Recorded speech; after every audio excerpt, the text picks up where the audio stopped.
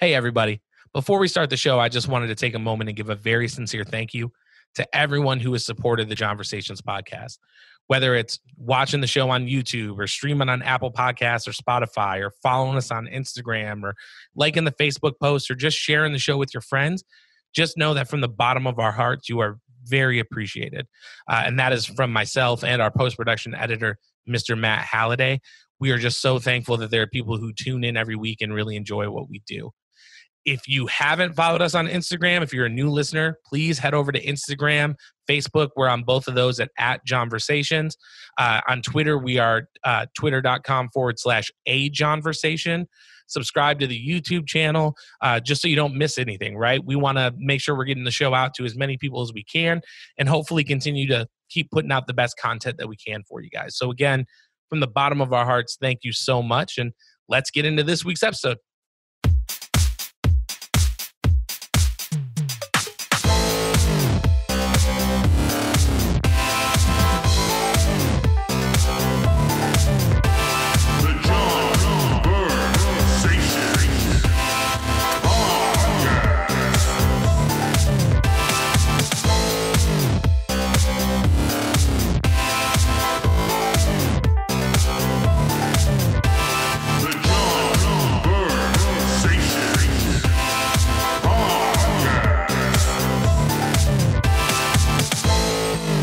All right, Johnversations podcast number 28. My guest today is an actor, writer, and producer living in Los Angeles, California. His new film, Two Ways to Go West, is available to watch on video on demand now. Ladies and gentlemen, please welcome Mr. James Liddell. James, thank you so much for being here, man. I, I'm so happy to, to have you on the show. Oh yeah, dude. Thanks for having me. I'm excited. That's not a problem. up.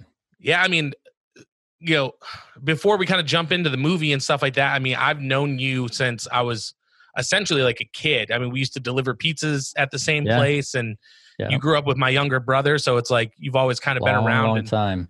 yeah, and, and you know, I've had some other people from some other you know people that are in Michigan or have been Michigan transplants, and I got to tell you, man, one of my favorite things to do is to like have people on that I, I knew that I grew up with, and then you've gone on to do these amazing things. And Two Ways to Go West is really one of those, man. I I watched the movie last night, and the whole time I was dude. like, God damn, this is good. So, and it, it's it's such a trip, and and knowing you know we're gonna catch up. I don't know what it was. I uh, I went down a rabbit hole last night of of finally getting on Facebook and seeing what everybody from my past has been up to. It was very bizarre, but it's so cool to see what everybody goes on to do. yeah, man. I just uh, yeah, I know. You were always the man at like if I if the band had a show or something, I was always like, "Hey, James, you feel like you feel like covering for me?" And you were always like, "Fuck yeah, man, I'm about that money." So, Make a few bucks, yeah. right? so yeah man but it's it's i don't know it just feels like it's it was so long ago and then to watch the movie last night and because even back then you know that's what you wanted to do and i think Yeah. Well, your brother was in the first short film I ever directed. i'm sorry probably tanked the reviews he was the worst part about it, but there was plenty of other bad things about it. So it's Right. all good. I forgive I, you, Jake. you know what he's my brother and i don't even know if he listens so whatever say what you want but Fuck him. Yeah, no, it's just uh I don't know, man. There's it's just something so cool about seeing somebody who's been passionate about something for so long and and has been saying like I'm going to do this and then years later to you know cuz I know you've been doing plays and like I like you've had you had a role in Killer Kids, didn't you if I remember correctly? that's yeah, that's my big claim to fame so far. Uh, Well, as up soon as I until moved now. out- yeah, right. I, as soon as I moved out here, it was one of the first things I booked uh, when I got an agent. And you know, at the time, it was like, this is so cool. You're on set, and there's fake snow in the middle of the desert, and it's like, I'm here. I made it. And then you watch it, and you go, Oh man, what did I do? So, who did you play in Killer Kids? Okay, so uh, we're doing the Killer Kids bit. I just, dude, it's we, just, uh, I, I think it's, well, the reason I want to talk about it is because I think it's interesting. yeah. and If, if there's people who No, are it is. listening who are like, I, that's, you know, I think it's good that people know, like, hey, you got to start. I, I- mean, that's I just, fucking I TV. just, that shit's on I Get a, la- Netflix. I get a laugh out of it because you know I I came out here. I was I think I was 24 when I booked that, and uh, I was way too big for my my face and my head. So I had like the body, like the you know a bodybuilder would have, and I'm trying to play. Uh, I think I was supposed to be 16 or 17 in the show. I had a baby face. I looked it, so the director booked me off a tape. And you know, when I got out here, I'd audition for these Nickelodeon shows or Disney or whatever it may be, and I would disguise my body. I would wear like a baggy or you know whatever it, it, was. And he booked me off a tape, and we get on set, and he's like, "All right, well, we want to see you in a, a tank, James." He's like, "Oh no. Because these other kids are playing 16, 17. You're like, yeah, that's you're a real 16 year old. Yeah, you're like a butt. And I'm like, now I'm like 19 inch arms, and I'm like, oh shit. like fuck you, dad. Yeah, exactly. but it was fine because they put like an AK in my hand. In in the you know thing about this is it's it's true stories. So it's basically like a reenactment show. Uh, so I played a real killer kid who killed this a buddy of his his grandparents. And so they put an AK in my hand, and I'm like the the bodyguard of this little group that they have together, and and I killed his grandparents. Well, and it doesn't sound like you have any remorse for it either. so- No, fuck them. yeah, uh, That was horrible because they, yeah. but yeah, but it, it was the first time that I I could be like, hey, mom and dad, you can actually see me on TV, like or or or whatever. You look it up online. It's Like it was a thing that happened. It's real. I did it, and you can watch it. And that was pretty cool to to come home for Christmas, and my dad's just got it on on loop on the TV after my first year in LA. he's like, I DVR'd it. And he was talking shit. He's like, "Well, you look like you're gonna piss your pants." I'm like, "I don't know how to act." Right. This is this I'm is not brand good. new. But it's uh I don't know, man. It's there's something again, it's just kind of crazy that like you know, I think people think and and again, this is something I really liked about the movie too, and and we'll get into that. But you know, I Mhm. think people think it's like I'm gonna go to LA and I'm gonna be an actor, and they don't think that it's like, oh, you're gonna book a commercial, or you're gonna book Killer Kids, or you're gonna do like stage plays. Because I know you've done some plays and stuff too, right? yeah, yeah, yeah. Uh, just this past year, I think October, we did a run of a, a beautiful play called uh, "On an Average Day." We are thinking about doing it. We were invited to do it at a the Fringe Festival here in LA, and and that got shut down because of you know COVID and all that. But um, yeah, I mean, I, I I love being on stage. It's it's always a really really fulfilling experience. Probably more so than anything else I've ever done as far as an actor. Well, let me ask you this because you know, and again, I I, I promise you we're gonna get to the movie because I have so many Cool. like hey questions man, and the last thing I want to talk about on a day to day basis is the movie. So let's So-. Let's talk so- about you. oh man, I just you know got a kid just living Well, outside I- Nashville. dude, listen, all the same things you said uh, about me. We we linked up, and I was like, "Oh, you, you live in Nashville. You're married. You got a kid. Great, man. Yeah, yeah. How long you been in Nashville? How old Uh, kid? Catch me up." Uh, I've been here now. I've been here. It's crazy to think, but I've been here now uh, almost seven years, Wow, which is pretty So nuts. you split right after I did. Yeah, yeah, yeah. Very. I think it was uh like 2000. Two, it was like 2012. So like the end of 2012. So Yeah, I Um, eight years in. Yeah. Um. Or no, I'm sorry. Probably the end of yeah end of 2013. It was September. It was right before Halloween. Wow. So yeah, and then you know I met my wife and she was from here. Oh, and cool. We were doing the long distance thing, and eventually I was just like, well, let's see what I can fit in my car, and just Hell you yeah, know, dude. That's I was- just working in the factory in Michigan, and you know the band had kind of slowed down, so I was like, well, fuck it. So Bug it.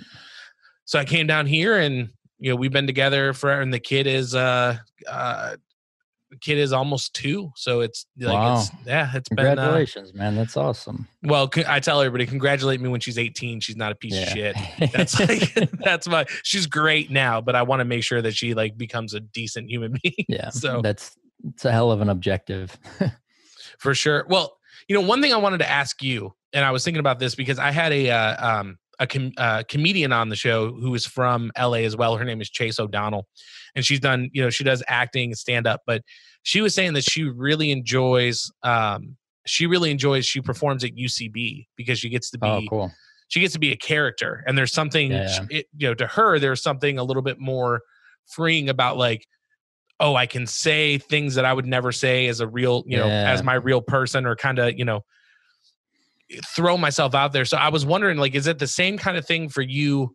Because I mean, that's what you're doing as an actor. You're you you get a role and then you're like, okay, I've got to figure Oh, out a way to become this person. Yeah. And from- what's oh sorry, I go did ahead, bud. Yeah, yeah, I did. Uh, UCB is great. I did some classes at UCB. I never performed there um, in a show or anything, but I, I respect improv so much, and it's such a valuable tool to have as an actor or a comedian. But yeah, I, I think the most fun I ever have with anything in acting is just playing silly characters, and there's so much freedom in it because if you're doing something that's supposed to be at an 11 how do you fuck that up? You know the only thing you can do is be too small and you know it's easy for me to say this because and you you know me the first post you posted when i put the movie out there you said that's more than i've heard you talk in five years of working with you Yes. so when i act i i'm naturally come in low so if if anything's con- anything is bigger than me i go to 11 and i'll usually land around an 8 but it's so much fun trying to get there Yeah, and I like that's one thing I told my wife too when I watched the movie. I was like, I'm so excited to watch this because you are always that person. And it, honestly, it's one of the things that I, I admire about you and I admire about people like you is that there are certain people out there that they don't say a lot. They're very quiet and and reserved, but when they do speak, everybody listens. And then you've got people like me who just don't shut the fuck up. So, you know, you definitely got to find a balance. You know, grass is always greener, but um, it's so much easier for me. And in a uh, one-on-one conversation like this, or I'm on a set and I'm a character, or I have lines and I know exactly what to say because you don't like being a shy or introverted person. You don't have to worry about that judgment. It's probably you know if we're gonna get a little psychological with it, probably what initially drawed me, pulled me towards acting was that that that want or desire to put myself out there but it's easier to do it if you're pretending to be someone else you know Yeah. Now, is it like is it fun for you because in the movie you have some like I was watching it and I was like, okay, you're you're genuinely baseline to a point, and then everything kind of turns on its head. So, is it fun for you to not really being that person? Because like I I don't think in all the years I've known you, I've seen you frustrated, but I've never seen you like angry. You know what I mean? Like you're Yeah. like I said, you're always a very you've always been a very baseline human being in my experiences with you. So is it fun for you to like be able to kind of take the brake off and just be like there was- sometimes and it, it depends what it is and in the moment you know whether it's fun or freeing or or, or therapeutic I- i think it's always beneficial but definitely definitely gotta be careful about walking that line too closely uh, and i've had directors kind of have to pull me back of you're going in a little too method with this because you know if you're you know uh, that's and it is what it is the the, quality or quality or the the talent of the acting you know whatever but that's me actually angry in that movie. Like you're whether you you could connect to the material so well that you can say those words and actually be angry when you're saying them or if you don't and you have to you know find some imaginary substitution that okay now i'm fucking pissed off and i'm pretending i'm saying this to you. I mean you're actually angry. You're going to trick your brain into feeling the way you you believe you're experiencing the world. And that's you know kind of where you got to get really good and quick at okay we're wrapped. That's it. I'm i'm done with that emotion and it can be really hard to do especially with the play that we just talked about on an average day. It isn't exactly the most upbeat or fun material. It deals with some really really heavy themes and you're doing the thing for you know rehearsals we did for I don't know, three four months and then you you put it up three four times a week and you have to actually get there every night or you hope to uh, and you know there's ways to to fake it or or sneak by the audience uh, a, a few times here and there but that's not the objective so it's like on the best the best nights of the the the show are the nights where afterwards i'm a mess i miserable I hate myself. I can't stop crying. And everyone's like, "Ah, let's go have a beer and celebrate. I'm like, okay, I, I guess. I feel like I got in a car accident, but all right. So it's it's it's a weird thing, but it's it's definitely fulfilling and fun when the material's fun. Well, and and I think that's a really good point too, because you know, there's like the whole, there's the whole. I mean, I don't know it, wh- how much truth there is to it, but there's the whole thing with Anthony Hopkins whenever he would do a like Hannibal Lecter, like a Silence of the Lambs or something. Like whenever he got into that character for like three weeks, he'd have to go to a cabin because like his wife was like, "You can't come home because you're not. It's such a Oh, dark my- place to go." Yeah, my girlfriend, like she knows, like it's gonna, we're not gonna, things aren't gonna be great for a month, and it's like we joke about it, but yeah, I'm not the. It's not fun to be around me when four hours before the show I gotta uh, start. Pre- you know, this doesn't go with every role or every actor. You know, whatever. It's, at, at the same time, it's like ah, fucking bullshit actor stuff. But it's like four hours before the thing, I'm I'm starting to go down that that mental train of all the reasons that I hate myself and need to feel the way about myself that the character does. No one wants to be around me. It's you sound very pleasant. Like, to be a guy- let's grab a beer, man. Yeah. Yeah. Go But- home. but you know? I think that really speaks to because I really do think, and and you know, I'm I'm someone I've just always enjoyed movies. It, like I'll watch anything because I I really like good narrative, which I think two ways ago West did a, a really good job with carrying the story through. It didn't really lull things like that, but you know, making that connection, and I, I've you know I feel like if you are someone who can who can do that, if you're someone who can, you know, maybe you're not mad that you know someone slept with your girlfriend, but you're like you said, like I can bring up this feeling from, you know, I was mad about this, and then how do I, you know, I got in that car accident that that dude hit me, and I was so pissed, and how do I bring Yeah. that out, you know? Um, yeah. and I feel like that's, I really do feel like that's what makes something feel honest and authentic. You know what I mean? As Yeah. opposed to just being like, oh, you're just doing this emotion. You know what I mean? Yeah. And I, and you know, I, there's always the other side of it. And I have an acting teacher that would always say, I don't care what you felt up there. I care what the audience felt. And that's true too, completely. But also a good indication of if they felt something is did I feel it? for sure. Well, yeah, man. I, I, uh, I don't know. It's the the emotion in the film really, really came came off very very strong. Um, and and saying that.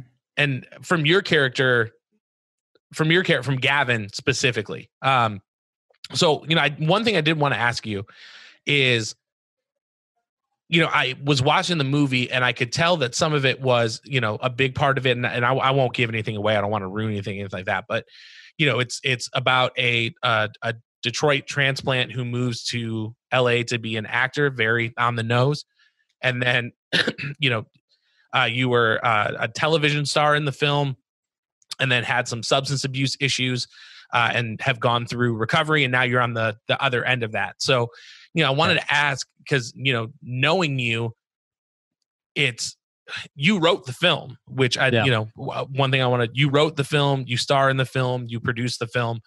So when you were writing it you know i know that moving to moving from you know detroit to la and and you know going on that actor's journey was definitely something but where did the rest of that idea come from? Because you know i you know i don't know is it i mean not to get too it- personal with you but yeah, no, I I'm happy to. I mean, you saw the movie. I'm not bashful about you know kind of opening up, so don't be afraid uh, to hurt my feelings or anything. But um, you know, it, it didn't start personal at all. It started as all right. I got a couple buddies. We were actors. The phone's not ringing as much as we wanted to. Why don't we do our own thing? And I had an opportunity to pitch a director who wanted to do a feature and had some access to some financing.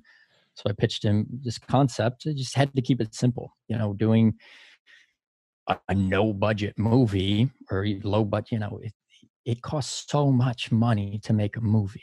It's unreal, but it doesn't always have to. And again, that shows on the screen. But I knew, okay, if we could do this for 25 grand, we could make it look like 250 grand.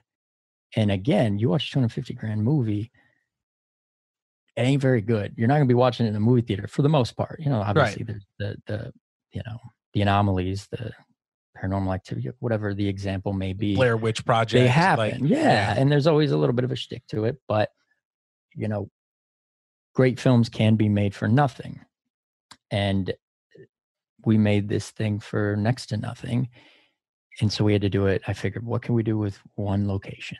Okay, obviously we'll we'll try and expand the scope. You know, use whatever we can do to make it feel bigger than that. What can we do with one location? Minimal actors, because it's the only way we're, going to get this done in the 10 days that we have in the budget that we have to pay what we are required to pay by SAG and X, Y, and Z and all the other bullshit. And I thought, well, I'm going to write it as though it's a stage play and we're going to shoot it. We're going to do long takes and it's going to be an actor's movie. We're going to give the actors uh, a, chance to do what they love because on so many movies, and I mean, you know, everybody had, probably has an, an idea of this, but it's like you get a couple lines out and it's a cut and we're moving angles and we're doing it. And then you do so, you spend so much time not actually acting that I don't know, you, you don't really feel the satisfaction that you would on the stage where you're doing an entire play with an intermission. So we would do some of these scenes are nine, ten minutes. Yeah, it's not for a broad audience. A lot of people typically, you know, don't like a dialogue scene that long. But if you resonate with the material and you connect with it, then there is a, a, a market for it, and there's people that will resonate with it. So I think that that the script really needed to speak to somebody and speak about something. And when I write, it always comes from a thematic place. So it's like, okay, now we've got one location, we've got a few actors, what could be happening? Okay, bachelor party, and then fill in the blanks. And then, okay, now what is this movie actually about? Okay, what do we actually want to talk about as far as my point of view on the world as a writer?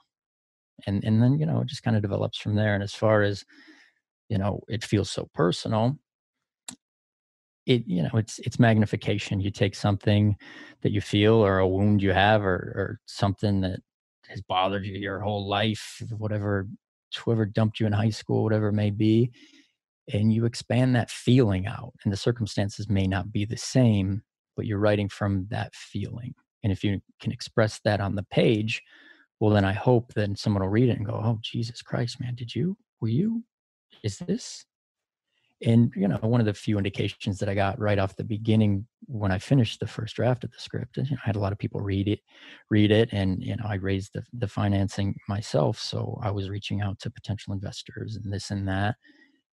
And we had really really strong response and it was like but did you i didn't know you. And it was like this weird thing of like "Oh, it's all good. Wha- whatever you want to ask me ask me.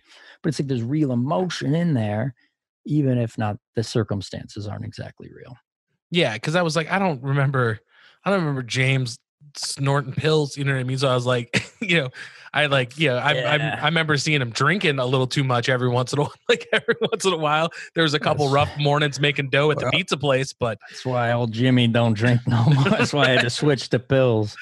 but um I- you know i think that's a it's it's crazy that you say that because when i watched the film that was very much the vibe that i got was oh this is set up exactly like this is set up exactly like a play and it's broken into Yeah. those acts um especially with the title cards kind of moving the and again i won't kind of i won't i don't want to jump in Yeah. and give any spoilers because i really want people to to watch the movie I, I got it on amazon prime last night but um it it is it's a very it's a very intimate film and i don't mean like as far as because there's some movies that you see and you're like yeah i mean obviously there wasn't the budget for it so they have you know two loc i think of, like, of something like the disaster uh or what's the uh, not the disaster artist but like the room The, the room, yeah, Yeah. yeah. it's like the rooftop in the apartment you know what i mean there's Yeah. like you know but then there's there's films that feel small but it's intentional and the other thing Right. that really stuck out to me is like you said is very dialogue heavy and what it, what it honestly reminded me of when i was watching it and i don't know if you would agree with this or you know maybe again this is somebody completely from outside Yeah. of that world but it reminded me a lot of almost the kevin smith format without like the over the top like smoochy because if you go back and watch his movies it's all Yeah. very a huge- dialogue huge based Kevin Kevin Smith fan, and you're right. And I think it comes comes more from like the same obstacles. It comes from this is what we have. We don't have much money, so how can we make that work? As opposed to facing a blank page of I can write anything, open interior, you know, or exterior, outer space, spaceship. It's like okay, we we have a room. Okay, can we get a hotel room? Can we make a room look like a hotel room? And then and i like that i like having some uh, a problem to solve to start with as opposed to just all right what are we going to do and and i think those those limitations just induce creativity Well, and I think too that it's I think that you are having with this film particularly and again even with like the like the kind of the Kevin Smith films is that I think you're doing what a lot of filmmakers don't do. Um you know, like yeah, man, a, a fucking Michael Bay movie is going to be explosions and and Yeah. you know, chicks with their boobs half out and all this stuff and it- it's, you know, it's it's fun to watch, but are you are you trusting in your audience? Do do you think that your audience is intelligent? And that's one thing I really got from your film. It's like if if you're watching this and you like Yeah. this, is because we're trusting you to. yeah to- i always, I always get it. say i always say you know write to the smartest person in the room you know you i i don't and again you know it's it's taste but i think if you if you dumb it down for you know the slowest person to get the joke or whatever it may be well then it's the, the dialogue's going to be on the nose uh, it, it's going to feel so surface level. Now of course at, at a certain point you, you still need people to understand where you're going with it and, and people say oh this is exposition this is uh, no exposition well also you still have to tell the story. It's like you don't have your characters say the story but they can't also not you you still have to move the story forward. So i, I always kind of fell a little too far into that camp of write to the the smartest person in the room and fuck everybody else. And now i'm like okay maybe this beat's a little too subtle. Maybe this information needs to be fleshed out a little further because if the audience doesn't pick up on it or doesn't connect the pieces that you think that they're going to pick up on well then y- you've lost them.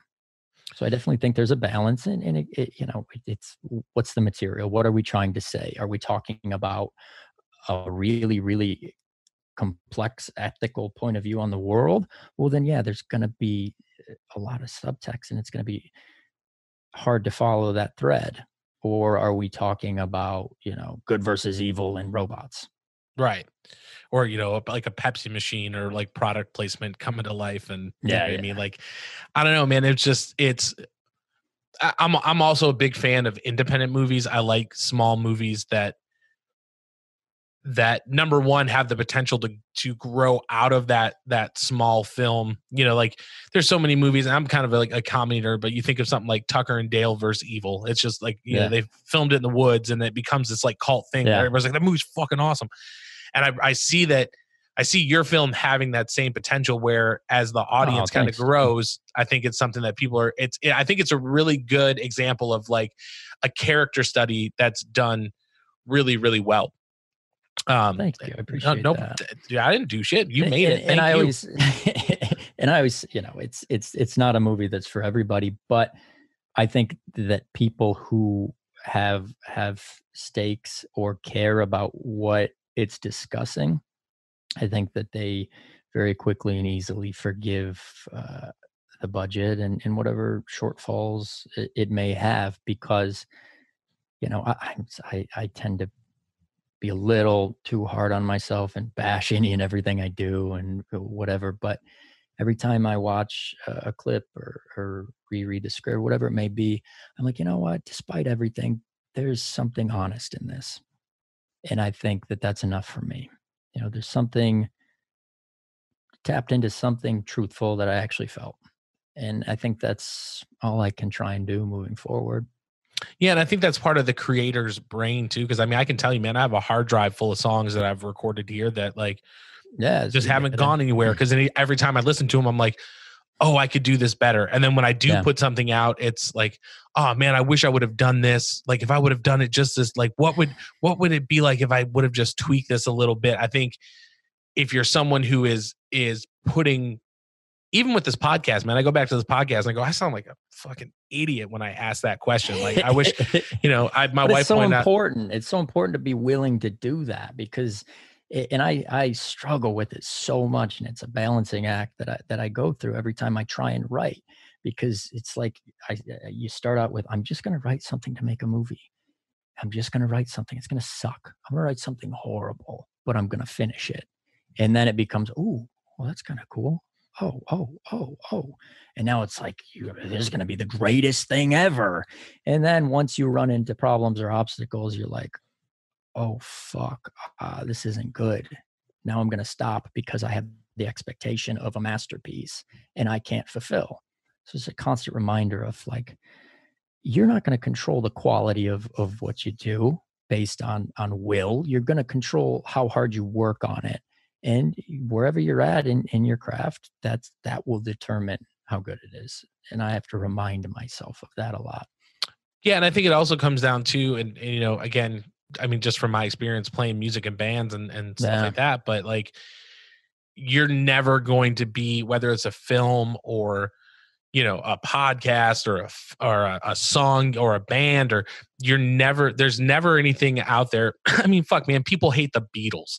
You know what i'm saying? Yeah, like right? like Yeah. you're you're never going to put something out where everybody was like hey great job. I really there's always going to be yeah. there's always going to be a group of people that you will that will cause you to second guess yourself you know? if if you don't have people talking shit about you the right people then you're probably not doing it right you know? And that's a you know, cheesy cliche line but I, I feel like it's so true. If everybody oh yeah you're great you're cool cool cool i don't know how authentic that is but if some people you know i really really felt what you were saying there and other people are like fuck you. Well uh, there's probably some truth in it Oh man, I am uh I'm waiting for the day that this podcast gets big enough that I can go through like the comments and get upset. Oh, yeah. That's what I'm like, I all right, I'm doing something right. People hate Yeah. me. So but well, you know, I did Well, want to what, what, what, uh, Oh, go ahead. what Sorry. inspired you to to get started on this thing? man, so I'll be honest, like, you know, I mean, you know me growing up, I was always in a band, like always. Um and playing in bands i met a lot of interesting people and and you know one of my favorite things was just always like even with the guys that i was in the band with is like when we weren't playing music we were just sitting around and, and talking and Mhm. you know so i moved in i moved outside just i'm like 15 minutes outside the city so i moved Oh, that's awesome. like the nashville area and you know i was just like man i miss i like i miss having converse like those kind of conversations i miss putting stuff out and because that's the thing like you know we were always putting out you know records or playing shows or or there was something that we could do to kind of put something creative out into the world and i just i wasn't doing it like i've Yeah. you know been used to and so i was like fuck it man i'm just gonna you know start a podcast and and my whole goal was i wanted to bring people on with interesting life stories and perspectives Yeah. and and i mean you fall into that category like you know you've followed you know followed a dream you're at the point now where you've made that dream into a reality and now you've got this whole like open door of prospects for things that come in the future and so i don't know man it was i think it was really just i bought everything to do it and then my daughter was born and i was like oh well because i was like i'm just doing it from home like i'll be able to do it you know and that didn't happen uh, and then i started off by having people here and we were doing inter- interviews in person and then covid hit and i was like Yeah. oh that's it like i'm not going to be able to do it and i had to adapt and now doing it virtually has kind of given me the ability to have people on that like i never like last week yeah, it we almost just had expands. Yeah, we had Cory Chalmers, who is a uh, Emmy award winning host. He's on. Uh, he's been on the show Hoarders. He is uh, one of the hosts and experts. But the show Oh, wow. was yeah, it was created because they followed him around to see what he did for a living. Yeah. so that was you know so like, but I never would have been like, hey man, I'll fly out to Nashville. Like, let me buy you a plane right. ticket, and you know, so it's. I don't know, man. It's uh, you know, it's It's just great, and, and it's, I'm it's sure- like that thing of uh, if you if you enjoy doing something, then the and it's so hard to to live by this. But if you enjoy doing something, then you know you've you've won already. It doesn't matter if anybody ever sees the movie or the, the listens the. Doesn't matter because you, you're doing something that you like to do and love to do. And and I think for me, that's got to be fulfilling enough. And if it it and it always will to some extent be about the result or become about the result. But if you can constantly kind of put that in check and go, oh yeah, I'm doing what I love. I'm doing what I like to do. And at that, I've won already. No, I mean, and I'm I'm right there with you, man. It's uh, you know, I've got a normal job, like I work, I work a normal day job and stuff like that. But like, this is my, this is kind of my like my my passion. You know what I mean? It's like, you Yeah, know, it's- it's a- absolutely. and let me ask you this because i know for me one thing that that i've really enjoyed is like i you know a lot of people start podcasts and they're you know people in your position they're actors or they have some kind of following like you know i, I was just a guy that was like i just want to you know get on and we've been in the you know i was on the radio in metro detroit but outside of that people are like i don't know who this dude is. So i just got on and started talking and bringing people on and i've kind of got to see the audience grow.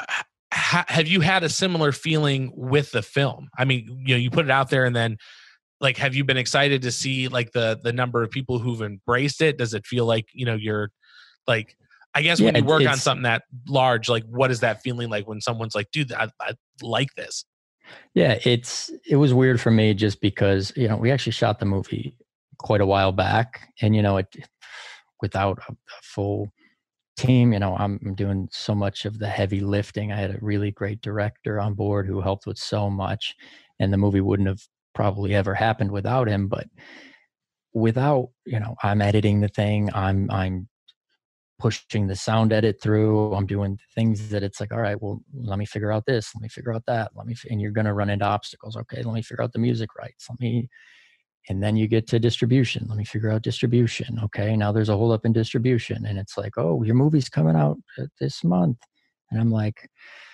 really? Do I I have to start thinking about that again? it's like I've already overcome that traumatic period of my life, but then you get over yourself and you just try and enjoy it, and it's been really it has been fun to see people writing reviews for sites that I follow, writing reviews, podcasts that I follow, doing reviews, and hearing what people think about it, and and getting a few really unbelievable reviews that I'm like, really?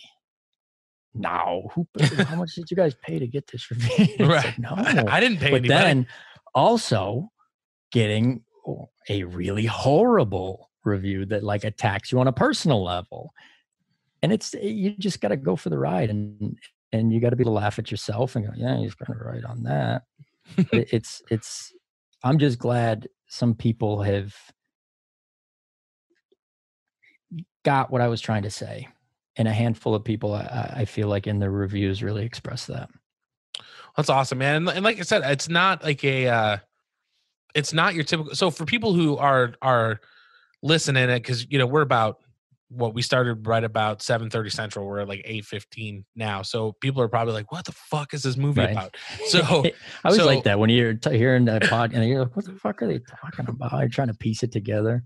so i'll i'll give my synopsis and definitely let me know if you would change anything but you know Deal. when when i was watching it, it was a group of friends uh come together for a bachelor party um again we've kind of discussed your character like you moved out to la you became an actor got a tv show you know struggled with addiction you got clean now you know this is the first time you guys have all been together in a really long time um and it's really about kind of hashing out some of those some of those demons that you know kind of kept you guys apart or you know cause that rift in the communication for as, as long as it did does that i mean does that sound fair am i missing anything Yeah, no, absolutely. It's it's about those lifelong friendships that you know those mm-hmm. buddies that you don't see them for 10 years and then it's like nothing changed.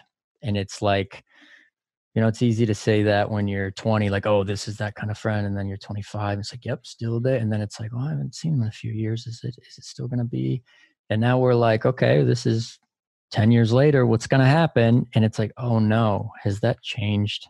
are we all so different that we lost that that one thing we thought we would always have and it feels like they have until they can get it back. And I feel like a big part of the story is the the journey of regaining uh, that friendship, that closeness, and trust.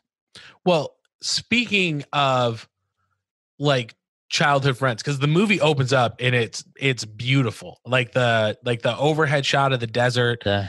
it's absolutely beautiful and then the credits start rolling and executive producers show up and i see joe harris eddie Kubicki, like these are and these are people that i know that you've been yeah. so for my first thought was like oh man like if i would have known these assholes were getting money i wouldn't have, i wouldn't have paid for this I know, right?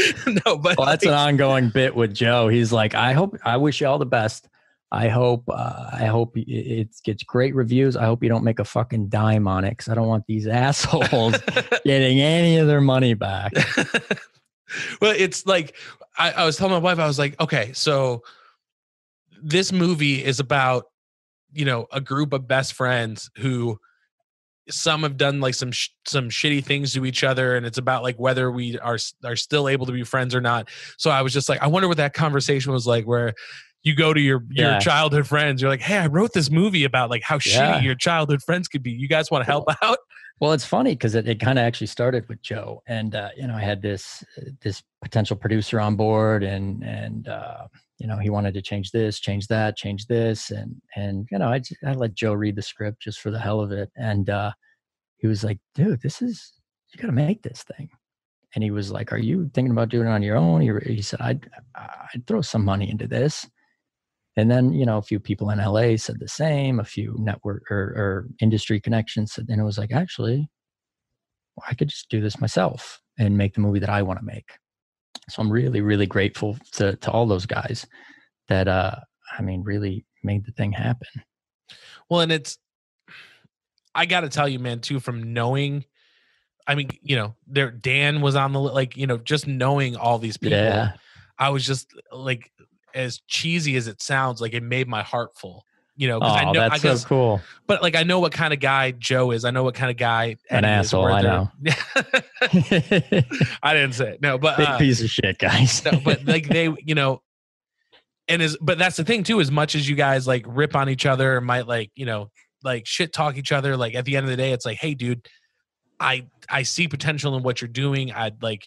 Yeah. I want to be there to back you and help you with this. So it's it's cra- it's it was just awesome to see that like those were the people that were yeah and you know behind you those are, those are the guys that that i've been to vegas with and and the best memories and the in times that we've had is when we're just bored in the hotel room talking shit to each other and it's like that's what we go back for uh, just to to catch up Yeah, and I, I actually I saw I watched an interview with you and uh, Ryan Brookhart who directed the film, and that really stuck out to me too. It's like you know you don't ever remember the times where you're like, oh, you remember when you had that hot hand at the poker table? It's like, yeah hey, remember when we're at the fucking IHOP at three in the morning Yeah, and we lost everything? You know? yeah like you said it, it- you know those conversations that you have just sitting at you know denny's or, or zach's Right? Zach's Uh, a Plymouth. uh, Shout so- out! till three in the morning probably haven't been there in 15 years Oh my god!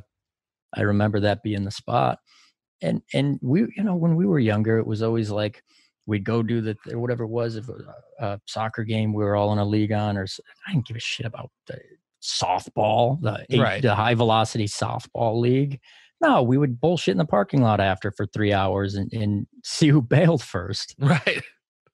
Yeah, man, and and I think that's like really like like watching the film I- think it really captured a lot of that where it's like you know because i've got friends i mean shout out to taylor smith you know his and his band bear Yeah. prince just put out their first record fucking awesome if you're listening check that out but you know he's that friend for me where it's like i could not see him you know for 10 15 years and i i see it it's like oh dude like i would it feels like i just hung out with you yesterday Yeah. even though you know in the the course of our friendship we've had like several ups and downs and arguments and but it's like it it doesn't hold the same way and i think Yeah. the characters in the film obviously there's a there's i think the stakes are a little bit higher you know like because this is like your first kind of foray into the into like vegas and being clean and stuff like like i said i don't want to give too much away but it's Yeah. the, the stakes are a little bit higher there but at the end of i think at the end of the day it's still about like don't forget where you came from You know, yeah, um, absolutely. It's a line from the movie. right? I told you I watched it, man. Um, Yeah.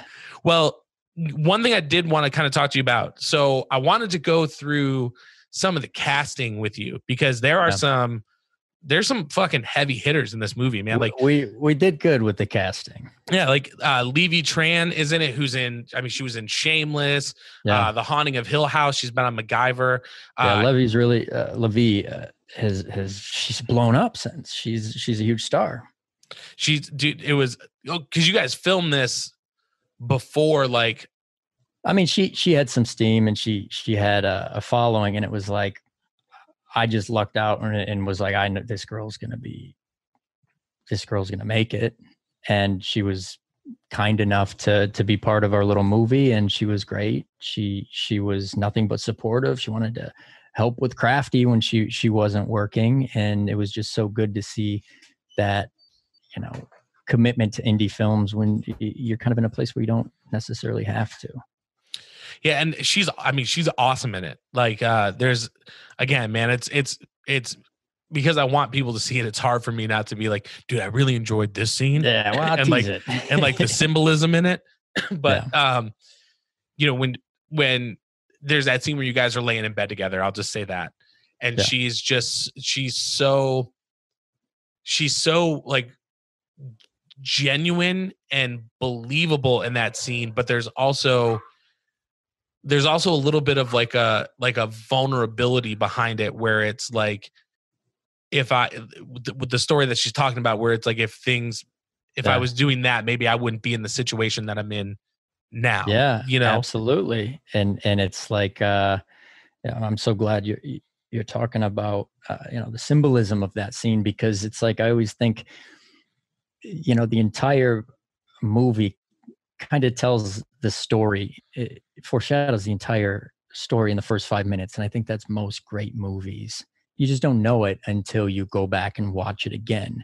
and and a character will just blatantly say the theme of the movie or or say what's going to happen or there's some sort of so, uh, irony or, or conflict in what he's saying that tells the entire story we just get to watch the debate of that conversation playing out and i think that scene that you're talking about that's exactly that for this movie Yeah, and it's uh I mean, I don't know. The other thing I'll say too is it's only like an hour and 18 minutes, but like it it feels it's crazy because it's a movie that feels small but feels big at the same time. Like small set, big idea. And like I said, it it, it almost it almost gave me like a 12 angry men kind of vibe because like you're Okay. just you're Yeah. in you're in this room. Like you like they they've got to work through something whether they like it or not and it's like you're they're there. there. It, Yeah, it's almost it's like, like- a it's a voyeuristic thing where you're like oh Yeah, fuck, yeah. i'm a fly on the wall. Yeah and it's it's a little bit of like the anti-pitch of the movie because you you know you go oh it's a you know three high school friends reunite in vegas for a bachelor party and uh but you don't you don't ever see the the vegas stuff and Right. you know that's very intentional not only because of budget because that's not what we're talking about we've seen that and yeah it's exciting to see and it's fun and there's there's still great scenes yet to be written in uh, vegas with that storyline but this wasn't about that. We we know what they were going out to do or not do, uh, and we know why they were all there, and and we're going to debate that throughout the film. But the important part wasn't seeing them at the craps table or seeing them get too drunk. Uh, we kind of all know that scene. right if you've seen swingers like you've seen Yeah, and that, was- I seen- can't tell you how many times I watched Swingers while I was riding it. but it's uh the, the other thing because I, I still i still have some things i want to talk to you about the casting but while we're on it the other thing that i thought was really smart about it or like slick or and I, I think a lot of horror films do this and i think a lot of really good dramas do this. There are characters in the film that are never introduced. You you hear about them you hear bits and pieces and i think it does a really good job. Like i found myself wondering while i was watching the film like what is shane in his fiance's relationship like? Yeah, or what is marty and hope's relationship like and i think that that coin kind of has uh, two sides to it because you you're kind of building you know as a writer you're kind of building anticipation. When you keep hearing about uh, like you know and to picture a, a revenge movie or something like oh you don't want to mess with that guy. You don't okay we've been hearing about this badass whole movie. Show him to me so you're you're kind of building this anticipation where you're like all right all right tension tension. I can't wait to see him. That's why i'm watching the movie. And these characters aren't necessarily that but you're going oh i keep hearing about these people. Am i going to meet them but but the other side of that is you already know them your imagination can fill fill in the blank. You know who is that in, in your life? What buddy of yours ha- eh, has that relationship? And you can picture that girl. You can picture uh you know uh, somebody you care about whose uh fiance goes out of town for business and you don't exactly trust him fully or that guy who is you, you would never he won't even go to the strip club in vegas because even if his girlfriend lets him because no no no no he wouldn't want to do that to her. Right. You know we can kind of just fill in those gaps and and i feel like i hope that a lot of people were able to do that and kind of connect it to their own uh, group of of friends well it it reminded me you know thinking back on it it reminded me of you know a lot of horror films do that where like right before it would show you something like like you know someone's getting run over by a wood chipper and right before Yeah. the wood chipper hits it cuts to like somebody's face so you can't see but your Yeah. brain is like i'm filling in oh i can yeah. only imagine like how like fucking painful and gory that would be and i feel like your film does a really good job doing that with relationships to be like hmm, you know i can only imagine like you know what the dynamic of of marty you know from the little pieces that you learn like you know oh to be in marty's shoes and and to see what he would be struggling with or you know to to you know be shane's fiance and wondering you know what's happening in Yeah. vegas. And i don't know I, it's it was it was very clever because you know it's i think Yeah. nowadays it's so easy to be like oh let me pull her up on facetime or you know what i mean? Like yeah yeah. And uh you know there's there's a scene that i i always think played a little better in the script than it did uh, in the edit and that's probably my fault for fucking up the the cut but there's a scene where marty when the stripper he's so excited where's the stripper? Where's the stripper? She's gonna be here soon. She's gonna be here. And she finally gets there and he's so excited he he while she's dancing he's got to call his wife to tell her.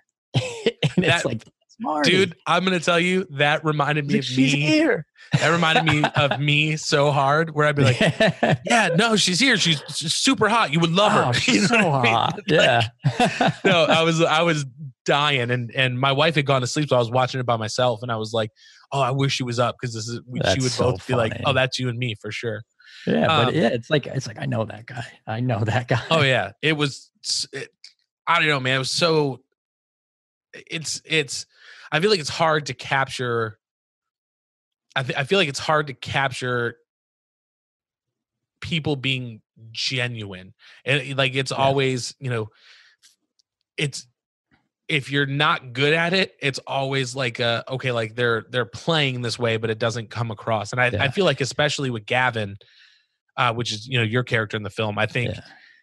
That comes across very like like from the beginning of the film like when you get out of the car when you're pulling into vegas and there's that there's that sign it's all decrepit and it says start a new life in vegas and you're looking at it and you're just like oh fuck.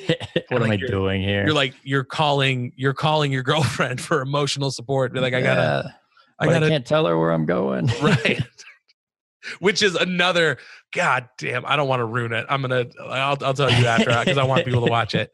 But some other questions i had about the casting so i mean we've got gino cafarelli we've got uh kathrine narducci i mean both of these uh, both of them were in the irishman um you know so they're scorsese kathrine narducci a bronx She's tale in everything. Dude, yeah. a, a Bronx Tale is one of my like one of my favorite movies of all time. It's so Yeah. it's so good. So what was that like? What was that like? Did you just put out some feelers and be like, hey, or, Well, it, it was kind of built into to the producing uh, because you know you you you go into these pitches with like okay first of all independent movies don't make money. So want to give me your money? So, you know, with that said, you still got to have some sort of a plan, you know, and, and on any scale of a film, unless uh, the studio doesn't give a shit if your movie makes money because you are Scorsese, uh, you got to at least look like you can make some money on your movie. And I was just so lucky, you know, being being in LA for as many years as I have. I have a, a, a couple friends, and they have some friends. So was really lucky with uh, Gino and Kat because the guy who plays Marty, uh, Paul Gennaro, was, was just a good friend of mine. He was a gym buddy, another actor who's he's he's been at it for a really long time. Really talented guy, as you saw in the movie, and uh, he's just close friends with Gino, and they work on stuff together all the time. Uh, Kat is like a, a family friend to him, and it was like you, send him the script and of course they have to like the material but it's like everybody's just kind of doing a favor at this point um, and that favors only go so far but we got really lucky with just having the right connections to get people on board That's awesome, man. And and you know, one thing I will say, um, uh, one thing I'll say about uh, Paul was that like, again, I hate I hate to kind of like liken it back again to Kevin Smith, but I've really got a feeling like if he was in like Clerks. I've been like, Yeah. oh, like this fucking like makes perfect sense. Like he's Yeah. just that kind of like the way that he tells. Oh, he reminded me of Randall, like telling the stories yeah throughout the movie. yeah yeah And then Shane is what Drew Kenney, who I'm sure a lot of people probably recognize him from The Bachelor. So, Oh, yeah. uh, like, how did uh, is that just another like guy that you made friends with? Because he, I mean, he's awesome in the movie, and I'm sure. Drew's great. Well, first of all, uh, to give credit where credit's due with with Paul, you're right. He's absolutely hysterical, and we, him and I, he's a, he's a the co-producer of the film. Him and I were the ones that that put the thing together, and uh, I knew he was going to play Marty, and I can't tell you how many times I've sat at his kitchen table and had dinner with him and his mom, and he's just got me in tears laughing because he can just shit talk you to tears. and so when I'm writing this, I know what he can do if I just throw him throw him some lines, throw him a good monologue. And he had us. I mean, there's a scene in the movie where eh, with the poster. So that that is com- entirely owed to the director uh, Ryan. He he uh, actually is a key art designer for films. He he designs posters. So what he did, he goes, okay, your character is a TV star. I'm gonna make a poster of the show he was in, and and Marty is your biggest fan. He wants you to sign it. So that scene wasn't actually written. I didn't write that scene. Ryan showed up on set with the poster. He didn't show it to anybody. Where he says, "All right, we set the we do the blocking, we do the lighting." He goes, "All right, I want you guys to just improv, talk about this, talk about that." And that's when we were on our phones. Uh, Where's the stripper? Come on, come on. So we did two takes of improv where, and he walks out, he comes back with the poster and he shows it to me. And we just, he starts riffing. And in the movie, I'm in tears laughing. Not because that, that was the scene and I had to laugh so hard, but no, I'm just fucking laughing because he's so funny. Well, that's the thing too about that scene, and that's one of those ones that I like. Like, I wish everybody is that is listening had seen it so I could talk about it a little bit more. But like, knowing you too, because again, like you're the entire time that I've known you, you've always been a very like stoic human being. Yeah. But there have been times where I've seen you, you know, like something is like cracked you up, or you know, you're hanging Yeah. out with the right people, and I was like, oh, like I was like, not to not to call you out of like the Hollywood name, but I was like, that's that's Jamie, that's Jamie, like, That's okay. There you go. That's It, is. It's Jamie, what it like, was. like legitimately thinking something's hilarious, and then Oh, that yeah. whole that whole riff. Again, I won't give it away where where he's breaking down what he thinks social media messaging is. Just I was I was like, that's so like so Again, fucking that- funny. it, we did two takes and just riffed and and when i was editing it i'm like there is so much gold here as far as uh, the humor and authenticity of this scene goes. And it's like i got nothing to cut to because we this is just three dudes hanging out. And so you can kind of get that feel that you know when watching the scene that it's lacking a lot of coverage but it, it goes back to that thing of you know me being in Vegas with my buddies, and they all they all know like you get me a couple of my buddies can get me laughing. I cry. I cry every time I go to Vegas with them because I get laughing so hard. And uh, you know, we've pro- I've probably said it uh, blatantly to them of like, this is something that you can't replicate. You can't write this. You can't put this in a movie. And there's a reason you don't see this kind of uh, male friendship in a movie because you can't fake it. It has to be real. And I feel like that was what we got so lucky to have captured in that scene was that authenticity of just being so stupid and all just being in on the joke and and and having fun. Well, and I think the film does a really good job too, and, and especially in that scene where th- there's tonal shifts in the right place. And again, without giving too much away, it really is like you're going.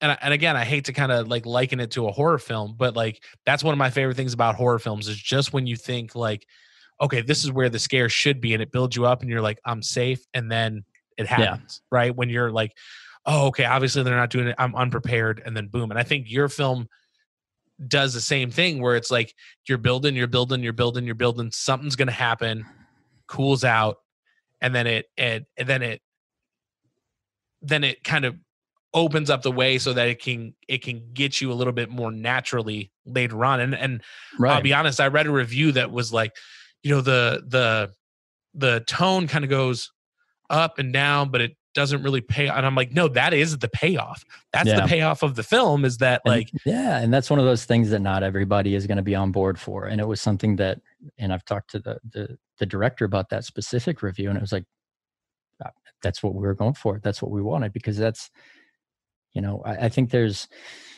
for me there's that goal of like you're not necessarily i'm not trying to write a slice of life movie right i want something more interesting than my fucking life you know there's gotta, Right. there's got to be i want there to be you know conflict i want there to be this there to be that but it still has to pass as real life. You know, the objective isn't to replicate, it's to pass as real life and then be more interesting. And so I feel like with that, you know, authentic emotion of like it, it may take a turn, but that may not be where it goes in, in in most movies, but that's authentic and that's how somebody would react. yeah. And it's, uh, the other thing I was thinking too, I was like, this is, this is like the hangover. If the hangover was like a, like a, like a, uh, one room drama. If someone said, Hey, I want to Right. take this, like, cause it's the same kind of thing. Like they're hashing out all this like old shit and, and, and Yeah. trying to deal with things, except, you know, you're not waking up with, in the bathroom with a tiger or something like, that you know what I mean? Like, Yeah, I think I think, and I mean, this is. I was like, ah, go fuck yourself, bullshit. But I think a couple reviewers, it was, one of them said, uh, it's like The Hangover meets uh, uh, Sh- Sam Shepard play. And I was like, "O- okay, I'll, I'll, take, it. that. Yeah. But it's like nobody could not mention The Hangover because you go, oh, bachelor party in Vegas with your friend. Oh, Hangover. It's like, yeah, well, eh, it's not that. There's a couple scenes, but it's a little different. Yeah, and I and there's that there's that at least there's that other it's like a real I've seen it on HBO. There's like Bachelor Party Vegas or something like that. And it's oh, like I a- think I've seen a few yeah, scenes it's of that. it's a like super it's bad. So I don't know. I I would take I think the hangover versus like no, I Bachelor. love No. love the Hangover. It's great. I I would aspire to be able to write that kind of humor. I just uh, well, but we kind of we kind of skipped all those scenes that the Hangover got so correct. Well, and that that's the thing that I, I liked about it though was that like like because again, you know, like the hangover is you know, it's a, a crazy, like stupid buddy comedy, but like they have issues within the group. Yeah. And it's just like, let's tackle those, let's tackle those issues in this big, like crazy, ridiculous, you know, naked Asian dude popping out of a trunk and shit like that Yeah, where I think it's almost braver to do it in the way that you did it, where it's like, yeah, we're going to Vegas, but like we're gonna tackle these issues head on. We we're not Yeah. going to like let's not try to and there's jokes in the movie and it's got its moments of like levity and, and lightness, but you know, it's also got its moments of like it dude, there's parts of this movie that are fucking dark. So like yeah. it it does a really good job of of balancing it, but it hits it more head on and saying like, you know, hey, we can we can just tackle these issues without having to do like this. Like we're out in Vegas, you know. Yeah, and try you know you try to do it in in a, an authentic and honest way, especially when you're touching on addiction. Because the last thing that I wanted to do was was try and tackle a theme and, and do a disservice to uh, people who struggle with that. And so it was really really important to me um, to to talk to people and make sure that I, I wasn't speaking on something that I didn't understand. And and it touches on it yeah, it's not, it's not a requiem for a dream where it's going there with the addiction. I think it's something that you you're going to wake up the next morning and still have to fight that addiction. And you're going to get through that day and you're you're going to wake up again and you're going to have to look yourself in the mirror and you're going to have to do it again. And you may not necessarily get the feeling like, "Oh, he's he might go off the wagon, he's going to die. That's where we're going." It's like, "No, he might go off the wagon and then he has to fucking battle this thing again and again and again and again and no matter how much you believe that you're out or you've escaped it and whatever your vice may be whether and i think this is what i was trying to a big part of what i was trying to say with the movie whether you know your vice is is is women or or drugs or booze or, or cheating Or all of them. Hey, oh, or am- all of 'em, yeah. you Just, still just you- kidding. no matter how many days you got, you still got to get the next one. And, and I think that's a really, really hard thing to live with. And and I think that's why I wanted to talk about it. And definitely from a personal place, but also, you know, the initial title when I first started writing it, working title was called Chaser, because it's like you're just you're just trading in you're trading in addictions. He traded my character Gavin. He traded in his uh, his need for for validation in through his career he got to the top. There was no more oh didn't do the trick didn't fix me. It's, like you're not going to love yourself. You, you can't love anybody else till you love yourself. And he's chasing this validation gets to the top. Okay what now? Drugs. Okay. Bottom out with that. What now? Ooh here's a girl. That's my new addiction. And it's like and he says eh, it, at one point in the movie says just swaps. It's just swaps. You, you you're going you think you think you got a hold of it but really you've just traded it out for something else.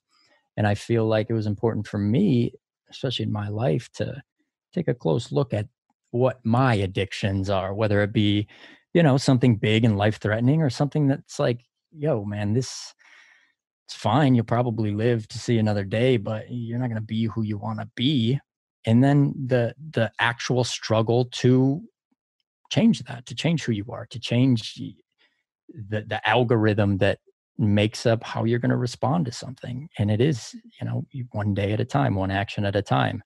I do this thing here it changes who i am just a little bit and i do if i do enough of those little things i may be a little closer to who i want to be. Yeah, and I will say one thing I really respected about it, uh, about the film, is the fact that it is a very honest portrayal of addiction, where you know you see so many movies where it's like, yeah, I did like a bump of coke one time, and then you know it's like it almost like like it's a mo- like there's movies out there about addiction that almost like hyper fetishize or like glorify it even though it's Yeah. trying to be like you know look how bad this is. Uh yeah. and not that like you know some some people who have had that haven't had like a hell of a like hell of a fun time right. you know one and again without kind of giving it away but like your you t- your character talks about how he got started down that road during the film and it's it's a very it's very grounded in reality as opposed to being like well i was on set and yeah. Sylvester stallone like, was like you want to do this blow you know I mean? like that's not i mean maybe for some people that's not how it happens you know? No. Oh uh, i just this thing happened and yeah i i, I took a painkiller. Oh that made that helped that helped. Yeah, i feel great. Ah, that helped. Ooh that felt good. I'm gonna Yeah. just zonk out and watch a movie. Right let me And take it's like, six yeah. And then it's like no matter how much you get away from it, you're just looking for an excuse to do it again. And it's like you something bad happens something bad happens and it's like oh I, uh, i'm going to do it because this happened you're just waiting for the right reason and you may get strong enough that like i didn't do it because i had a bad day i didn't do it because oh i hurt my leg i didn't do it because of this and and hey i'm pretty strong and then something actually happens that throws you for a loop and you're like oh yep i'm fucking going for it. Yeah. or you know i think another thing too is it's because like and again i think that's something you do really do really well in the film is like there are moments when you're like oh yeah like he's got this and then then it's like oh you think you've got it and then fucking plane crash you know what i mean? Yeah and I think, and it's it's sorry go ahead. No go ahead. I was just gonna say, and it's like, yeah, that may be eh, what happens in the film. Maybe for some people could be a really fucking upsetting thing, and you may want to fucking snap. But I think you see pretty quickly, like once he's experiencing that feeling, he's like, "Ooh, I got a good enough reason." Right. Yeah, and I think sometimes like, you know, just in people that I, I know in in in life and and experiences, like luckily that's never anything that I've had to like battle my own. But Yeah. you know, I think you're right. You know, you take things happen where you take it like, you know, I had I had my daughter and I was like, man, am I like, is there anything like I need to cut out? You know what I mean? Because like Yeah, you you know me from a long time ago like i was a little fucking cheech and chong back in the day and now it's you know now it's like you know fuck if anything ever happened i've got this kid and like you know you like like you're like oh I, that just doesn't fit into my life anymore you know yeah. And It's, like the same thing on the other hand of like, you know, uh, if you got a, a good enough reason to go back to using, you know, sometimes you might just bump into a circumstance in life that is a good enough reason to stop you. yeah, well using. I have a friend who got clean and it was very like just started getting text messages. Hey man, heard you got out of rehab. Great for you, dude. Hey, by the way, I've got this for, you know, $10 a pill. It's like it's like uh, uh bro, like focus on the first part of that text message. And I think some of it too is like sometimes like you said like, "Oh, I didn't have it when I when I hurt my leg or I didn't have it when I got stressed out. I'm in control of this. I can have it just for fun. You know what I mean? So I Yeah. think yeah, there's that too. yeah, there, there's a lot of movies out there that tackle it, but I feel like you guys did a really good job of keeping it grounded in in reality. And I think that people who have struggled with it personally, or people who have loved ones or friends that have have struggled with it, I think when they watch it, it's going to resonate in a way that like yeah, Requiem for a Dream doesn't. You know what I mean? Like, yeah, because it's you know it's it's high stakes, but also it's not so high that it's in in movie world. And of, and of course, you know, people have issues to that extent, yes, but also there's people that that struggle that don't have it to that extent, and and I feel like um, you know you get to see it with my character just what a beast the the demon in him is and just uh, once what he's willing to throw away and it's like from this great uh, reunion with his friends to like fuck everything in life mhm. because I get to do my drug again. Yeah. Well, and I think you do a really good job of showing that duality too, because like there was one point in the movie I was like, bro, is James he's trying to be Batman. He threw on a straight he threw on a straight fucking Batman voice. But but in the but it, yeah, it's cha- it's j- drop down a little bit when I get angry. yeah, but it's it's it's showing that like flip of a switch. And like if I have the if I have the excuse to Yeah. let this out, then it's like that's what I've been Yeah. waiting for. It's like this soft-spoken guy of of like uh, I'm here to see you guys. Uh, I'm sorry for everything. You know, I, I appreciate you guys being there. Like, don't get in the fucking way Right. of what I'm about to do because you don't want to see what's going to happen. Right. And It's it's, like, just- that's that switch.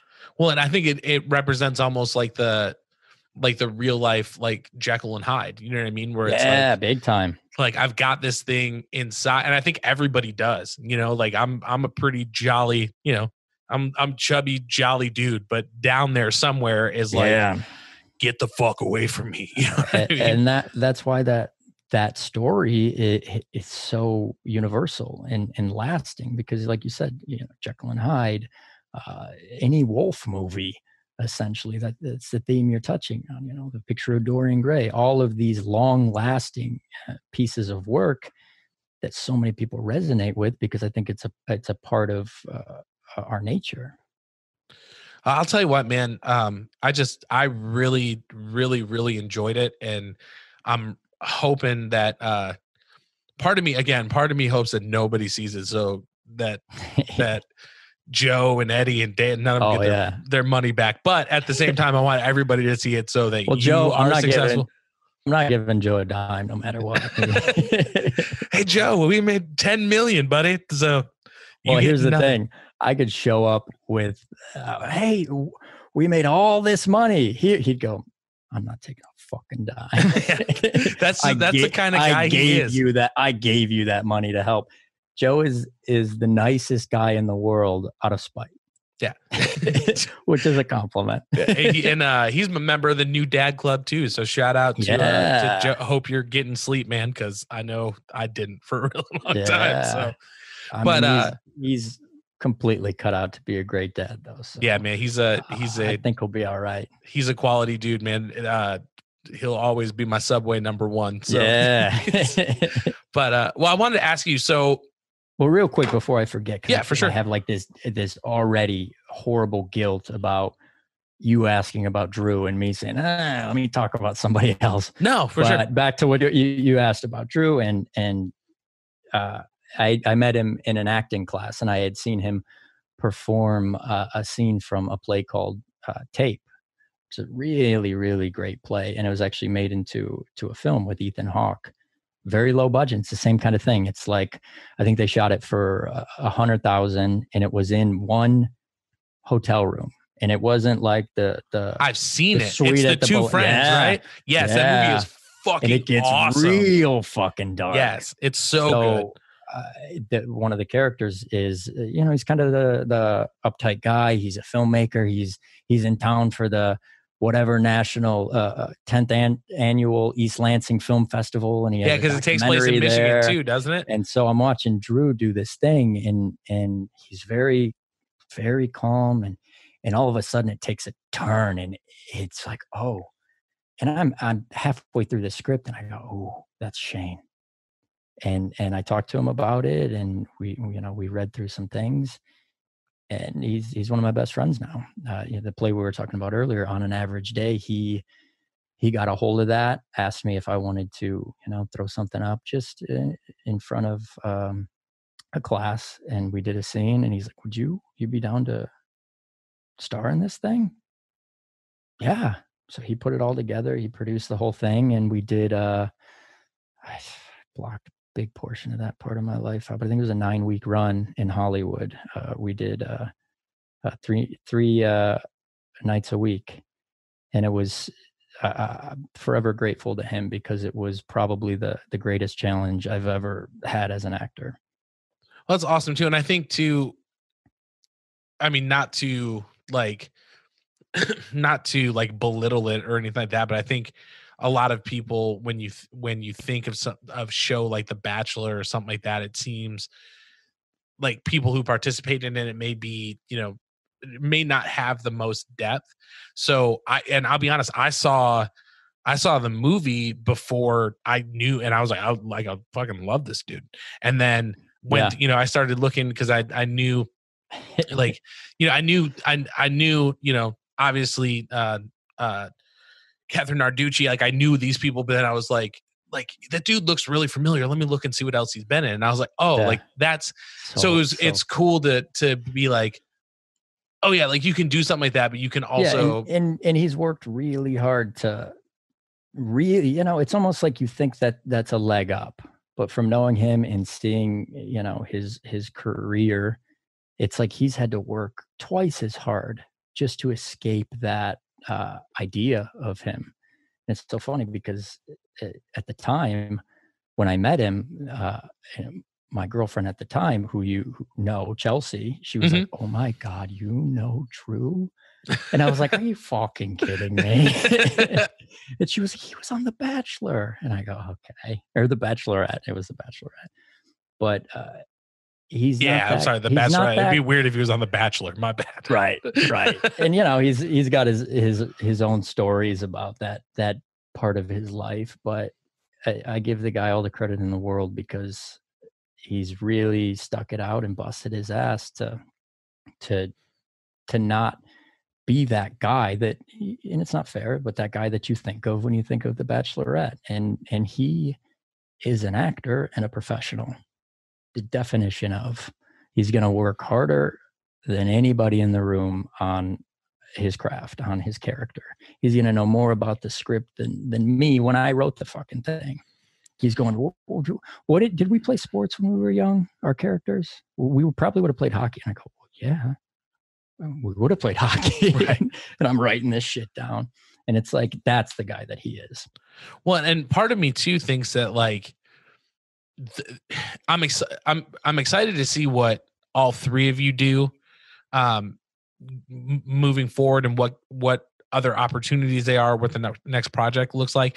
But for someone like Drew I think it's it's you know there's so many stories of people who were pigeonholed from the beginning and then they they kind of show out and they're like you know have this crazy crazy talent and they end up doing all these you know amazing like I, I think of somebody like Heath Ledger you know what I mean who is like Yeah. you're in 10 things I hate about you and Yeah. you're, you're this heartthrob and before Yeah. you punch your ticket like you're you're playing one of the darkest you know darkest characters that modern cinema's He'll- probably be seen. that guy and, and that's what the play was for him and i think and i you know now i'm speaking for him but i think that was a big reason why he wanted to to do that play other than resonating with the material so much but it was like a lot of you know mutual friends people we know industry uh, associates came to see the play and it was like you picture shane from two ways. Now his hair is a mess and greasy and down to his shoulders. His uh, cheeks are sunken in. He's lost 25 pounds for the role.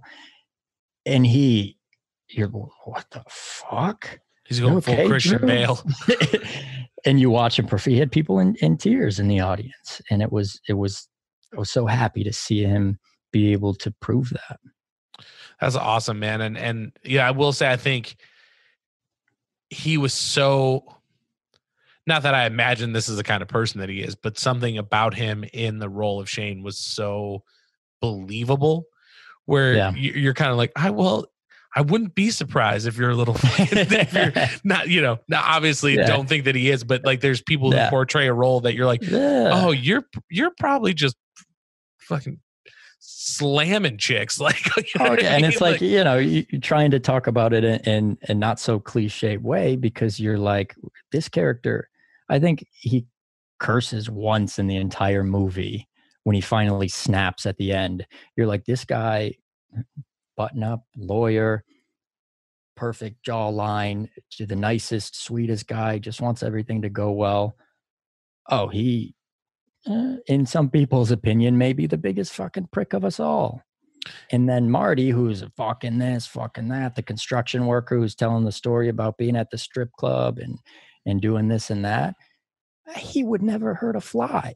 Yeah. And I think that that's the juxtaposition, and and I think we all know those guys. Well, it it somewhat reminded me of American Psycho, where it's like he'd be the guy that like he'd be fuming for days if your business card was nicer than it. you know what I mean. Like, and I think that's what you say. It's like almost like uh, you know some of the some of the scariest people and some of the biggest villains, at least in real life, are people that you would never expect. It's the button up. It's the you know what I mean. Like and and in his case, eh, he didn't know. He doesn't. You don't know you're the villain. You don't know you're the bad guy. You think you're the hero of your story. You know, there's been times in my life where I'm going, no, no, no, but you don't. But you don't. Oh, fuck. I'm the asshole here, aren't I? Mhm. and you don't know it. And it takes so much uh, introspection to be able to go, oh, I need to change.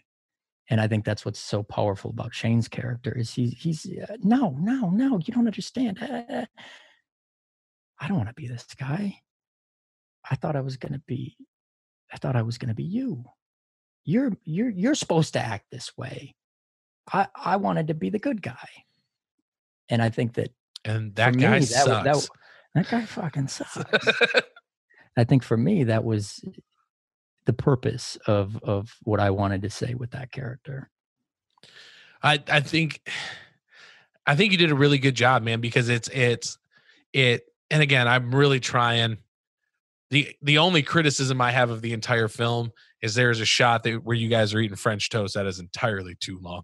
It was uncomfortable. it was uncomfortable watching you eat French toast My- that long. my favorite shot. but yeah, really, but you're like, yeah, that's good. It lingers. Yeah. But Well, listen, I- you know, there, there's plenty to criticize about the movie if it's not your thing, and I get that, and I know that it's it's not for everybody. But I do think that you know, if anything we've talked about uh, resonates with anybody who who's listening, then then it it may make you think about something or make you feel something. Well, and I think though too that there's also something about a film that's not for everyone because if you're one of those people who watch it and it is for you, you're like, "Oh, I'm in this club." Like Yeah, like you know, I I don't know, man. Like I think like I said if you're if you're if the primary if you, you know, the primary thing that you're into is like you know, Die Hard and you're really pumped for like Fast and Furious 14 and that's like what you normally like the avenue that you watch. This movie may not be the cup of tea for you, but if Yeah. you like things that make you think, because that's that's really what I what I took away from is watching it was a lot of like not only thinking about the characters, but kind of thinking almost of like which one of these guys am I, or which one of these guys am I closest Yeah. to? And what I think you you did a really good job of is being like, am I this guy? But I think, you know, am I ashamed? But I think I'm a Marty. Yeah, you know? Yeah, and then at the end of the day, I think it's you kind of go, "Oh shit, I'm a little bit of all of them." It's not always the most satisfying answer, but you know, like we talked about when all all the guys uh, read the script, and it was like, "Oh, this guy is is Joe, or this guy is that guy." It was like, ah, you know, it definitely stole some things from you know the people that I know in life, uh, but it was kind of like, well, they're kind of all different versions of me, you know. And like you said, and also in in some respects, the person I want to be, the person uh, I'm afraid to be, and the person that I probably am, and, and none of that is very comfortable. Right. Well, it, you know, there's something about something that makes, there's something about a piece of art, whether it's a song or a painting or a film or, you know, whatever it is, there's something about a piece of, of art like that or a piece of content that can, that makes you take a look at yourself that I think resonates with you in a way that, you know, a cookie cutter like pop song or you know again Yeah. your Michael Bay it just it doesn't hit the same way and, and I and in that respect I think it's like I think it's okay if it doesn't resonate with anybody because or not if, it doesn't resonate with some people because for the people that it does it's it's that much more of a of a of a connection to it. I think the other thing that I Yeah. I- I'm excited for is I really do believe that because of this, I mean you've shown that like hey, I can put together a project completely on my own. I can write it, I can produce it, I can star in it, I can cast the people that I want to have in it. So I think this is going to be a case where down the line you're going to have you're going to have uh this I, I feel like this is going to be a stepping stone to a much larger career for Yeah. you and i think people and are going to be like Already, have you seen two ways to go west? Like that's the first movie dude. It's so fucking good. Like I'll people don't get I'll it but to- it's so have to- fucking good. If I ever get to that point, I'll have to take it down. no, but uh, i- i- something you said that I think you, nailed it. it. It's for me, you know, books I read, movies I like, things that make me think and, and and that I resonate with are things that hold up a mirror, and you don't know it, you don't realize it when you're watching there or reading the thing, and you can essentially look at this character completely objectively because it's not you, and then by the end of it, you go, oh, that is me. And you're looking right in the mirror. And now you have an honest, a little bit more of an honest opinion of yourself. And, and you know, you, as a writer, I can't really escape that theme because it, it tends to find its way into everything that I write is, you know, holding up a mirror to the reader. And, and the way to do that is hold up a mirror to myself. well i think that's how you I really think that's the best way to to reach people is to say like, "Hey, man, this is me, and I'm going to pour me into what I do." Yeah. And the, and the best, it's like if you come at someone and you're like, you know, you got a fucking problem. All right. You need to cut this shit out.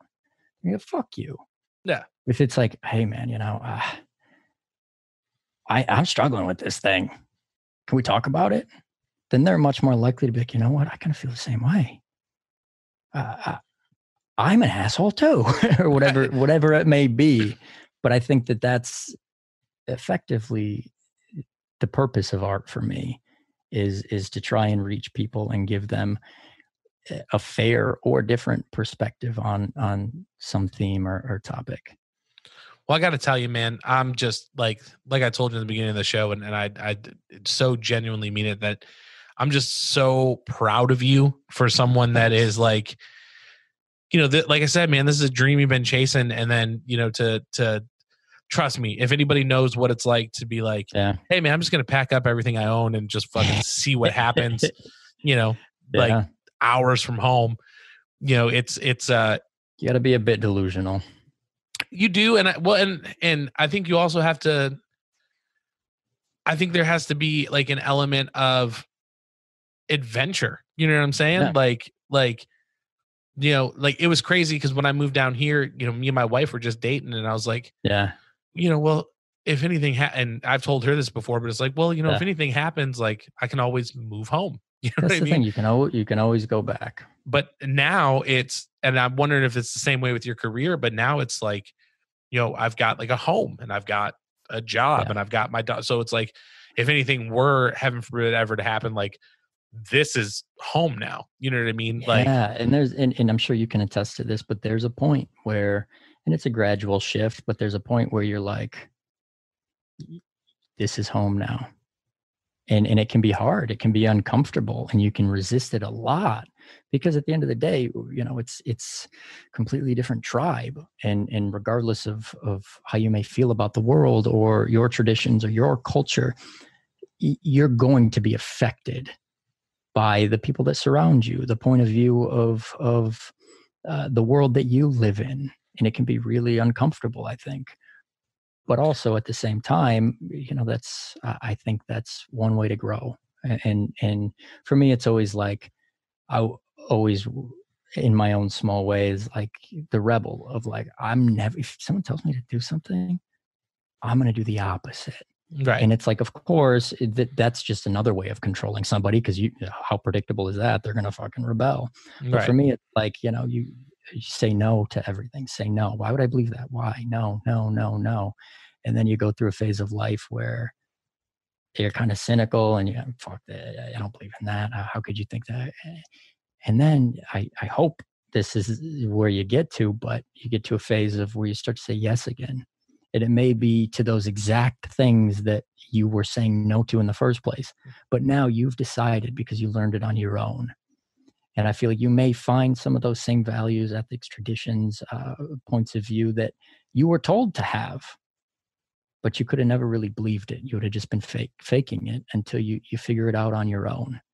And i think that that is is one thing that the adventure has taught me Yeah, man, and and I think you're right too. I mean, it's like, you know, I know moving from Michigan down to the South. I mean, like, there's just in the way people talk and the way you know a lot of Yeah. the views and stuff are different. Where you know, I t- like me and my wife were super liberal, but I tell her all the time, I was like, you know, California would probably be the best place for us to live, but you know, I'm I'm chubby in Tennessee and in Los Angeles, I'd be morbidly obese. Like kids would be throwing stuff at me. Like so, it's throwing throwing kombucha at all of us. Right.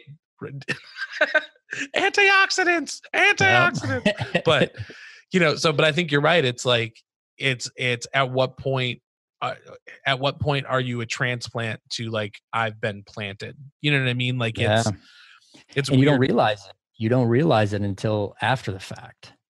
And you know as much as i love going home and seeing everybody that's i mean at this point that's the only thing i go for is Mhm. to see the people that i care about. And uh, when i get there it's only a matter of time before i'm like i want to i got to get back home. And not because oh this place is better this place no it's it's this is where your this is where my- responsibilities my, and- goals are my responsibilities my my routines uh, my objectives the things that that you know release that dopamine because i did this thing that i'm so want to be doing every day because it brings me a little closer to who i want to be as a person. And then when you know you leave whether it's home or anywhere else in the world i feel like you are at risk of kind of reverting maybe back to some of those things that create the person you don't necessarily want to be Yeah, I think it's also good, you know, like for people listening who maybe wanted to take the chance or, you know, try something like, you know, after I quit working at the pizza place, I was working in a factory. You know what I mean? And if I wouldn't have, if I wouldn't have met my wife and then been like, hey, you know what? I'm just gonna, I'm gonna take my chance on this adventure and and oh this yeah relationship feels right. Like I wouldn't have the family that I have. I wouldn't have the, you know, so it's like all the good things that I have now and things that I wouldn't give up for the world yeah. have come from that one decision. So, you know, I think it's it's a good thing for, you know, like, hey, take And f- take the chance. for me it's it's i don't think there's a wrong answer. I just think that there's a you know a wrong reason.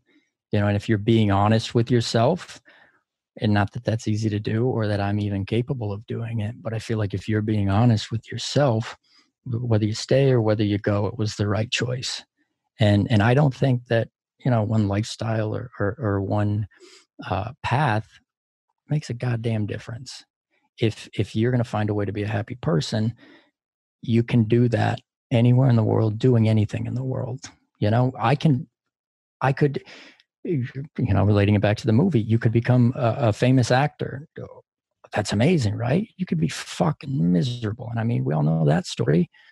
Or you could you know deliver pizzas as we did for so many years you do that for your whole life and still find joy and happiness That was my it's- favorite it's- job, hands down to this day. Yeah. If I can make enough money to pay my mortgage fucking delivering pizzas, Oh, I would still be doing that. Well, listen, when I drove out uh, to LA, I, again, I packed up. I didn't have a place to live. I didn't have, I didn't know anything. And again, that's that necessary delusion of like, eh, I'll figure it out. Um, but I got here, and the next day, I'd scouted for a year all the pizza places in town and all the neighborhoods and where I would make the most tips. And uh, I, I, I got here. First day here, I, I went and got a gym membership the gym I, I scouted and wanted to work out and uh, on Sunset Boulevard because I thought that that was cool and mattered. And then uh, I put on a button-up shirt and some slacks, and I walked down the street to uh, Joe's Pizza. And they hired me on the spot. I started that night. They go, "Come if you can come behind the counter and make a pizza, we'll we'll hire you." I thought I was going to be looking for a job for three, four months, and if I didn't find a job, I didn't know it at the time, but if I didn't find a job in three weeks, I'd have been packing my ass up and moving home probably. Mhm. I started that night. I worked there f- delivering pizzas in, in the hills to crazy people for a year and a half. And it was like just lucked out because I walked into a pizza place because of the job I had as a as a kid. Yeah, man, it's crazy that like if you're if you're willing to open yourself up to the universe, you know what I mean? Like I'm not a Yeah. very I'm not a religious person. I kind of what we are talking about before. I think a lot of you know people like get off drugs and then they find Jesus and that's like their new. Yeah. But I am very like if you put out good energy, I think good energy will come back to you. Yeah, and I, I think at the end of the day, you know, all uh, all of the practical bits of wisdom, every religion or uh, civilization or psychology or philosophy teaches, it's all the same shit. It's just a different way of getting there. And it's like, you know, the same reason we quote uh, the Stoics or, or Marcus Aurelius, because it's all the same simple truths, whether it comes from the Bible or uh, the stars.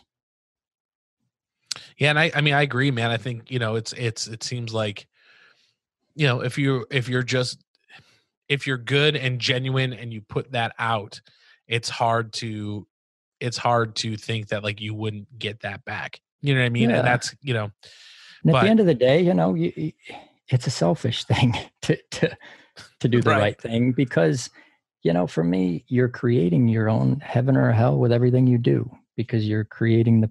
I know how this sounds, but you're creating the person that you're going to be, and you got to live with that fucker.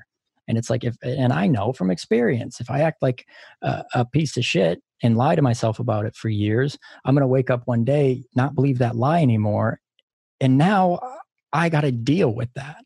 I got to deal with the shame and the guilt. Now I'm living in hell. And if I can live my life doing the thing that uh, I believe to be objectively right, I'm going to wake up and and hopefully some of that stuff's going to uh, subside and I'm going to be able to respect who I see in the mirror every day. When I, you know, to kind of bring it full circle, man, I think that's really the message of the the film overall is like taking a good hard look at yourself and like you know can i live with the person that i see? And i think you do a really really good job of of kind of showing that lesson and, and also kind of showing like what the consequences are if you can't you know what i mean And and and if you can't, then I I I like to think that there's still hope. You know that you don't got to double down on that and change your your point of view to match who you've become. yeah it's not just like well fuck it i'm a piece of shit i'm gonna Fuck it. stay i'm gonna stay I'm gonna piece keep. of shit I'm gonna. I'm gonna keep justifying, keep making excuses. And I, I you know, I, I've done it. I've done it. I go. Well, if someone else were doing this, I'd probably judge it pretty harshly. And it's like you know, we- we're objective with everybody else, and we're subjective with ourselves. And I think the goal is is the exact opposite of that. And and it's definitely something I was trying to touch on in the film. Is like you know what, cut everybody else some slack, and be a little harder and more honest with yourself. Yeah, and I think you get that a lot. Again, man, I don't want to spoil anything, but I think you get that a lot in like the like the voicemail scene, which again, I don't want to, you know, kind of, Yeah. you know, where it's like fuck seven, you know what I mean? But- but I like I think I don't know, man. I think it it I think it's a movie that if anybody has had those lifelong those lifelong friends, those people that like you've had that relationship with for years and years and years and years and years, I think it's something that that you'll be able to relate to. Yeah. Because you know, I found myself thinking about relationships and oh, well, that makes me happy. well, I, and I do, I do, you know, uh, we're hitting the two hour mark here, so I, Oh, I will, we'll wrap up. But I did want to ask you, in your opinion, so if people want to check out the movie, what is the best way? Because I know it's on like Amazon, it's Yeah. on, like, Yeah, what's the best it- way it- for you? You know, honestly, it's going to depend on uh, their means of watching it. So you can, you know, talking to your remote or type it into your TV. Two ways to go west or James Liddell, and uh, it'll pop up on whether you're on Apple TV. It'll come up on iTunes or Amazon on Amazon Prime. Uh, you can buy or rent. Uh, should be on uh, Roku devices and Vudu as well. But also, it's on uh, uh, an awesome app which I had before um, the movie came out called uh, Tubi TV, and it's free. So just download the app. Uh, there's some commercials, so if you don't want to watch the commercials, then you can pony up. But it's free on Tubi. So I, w- so I knew it was on Tubi. I paid. I just I appreciate if you're it, listening, brother. if you're listening, it's on Amazon. It's three ninety nine to rent it on Amazon. It's thirteen bucks if you want to buy it and watch it a bunch. So it's completely affordable. You're not going out. You're not eating dinner places. You're not going to appreciate that. concerts. Just spend the four fucking dollars. It's good.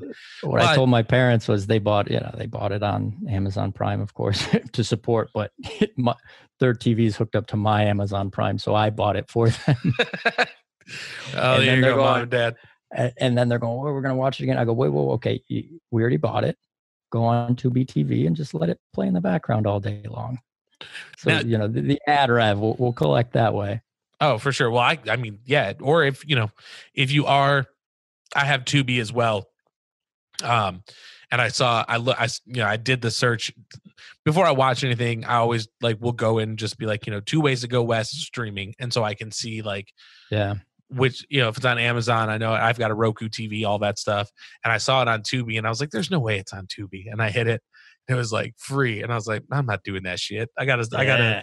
It's not like it's like fifteen dollars to rent. We gotta, Yeah, we gotta, you know. So Yeah. and also, man, I think you know too coming from the coming from the you know playing in bands and the independent artists and things like that, man. Like, like I don't think you people watch a movie or they hear a song or buy an album and they don't i think a lot of the times they don't realize how much of your like Yeah. time and how much of your hair has been pulled out into your fists from like I'd like Yeah. trying to be like I need to get this just right. So if you are in a in a place where you can afford four dollars, Yeah, and also just you know, for me, it's like at the end of the day, I, like, I don't. eh, I know what the movie is. I know what's good about it, and I know what I could critique.